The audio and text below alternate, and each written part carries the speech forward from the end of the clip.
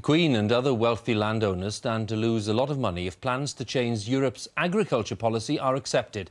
The European Commission wants a limit on the amount of subsidy given to the biggest farmers. It's seen as a crucial test for reforming the widely criticised Common Agricultural Policy. Ministers say they're opposed to the plan, as Mark Mardell reports. Like manna from heaven, the straw falls upon slightly surprised cows. Farmers, on the other hand, are used to being showered with cash from the European Union but the Commission wants to stop the richest ones getting so much money. Take Manydown Farm in Hampshire. A typical farm of this size, 3,000 acres, would get around a quarter of a million pounds in EU grants. The main beneficiary, a trust fund for the descendants of a Victorian millionaire. But the man who actually runs the farm, Richard Sterling, is very keen on one of the EU's big priorities, looking after the environment. This hedgerow is a home to birds and animals. He says if the money is cut, some will abandon all that. If their income is limited, then it is questionable in my mind just how much they will be able to have to spend on some of the nice things that we'd like to do, which is field margin management, replanting uh, hedgerows, uh, maintaining these old permanent pastures. It all costs money. This is the latest suggested reform for the much reviled Common Agricultural Policy.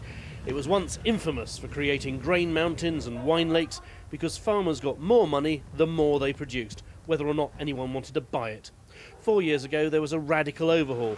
Money is now aimed at protecting the environment and is mostly paid on field size. So the richest do get the most cash.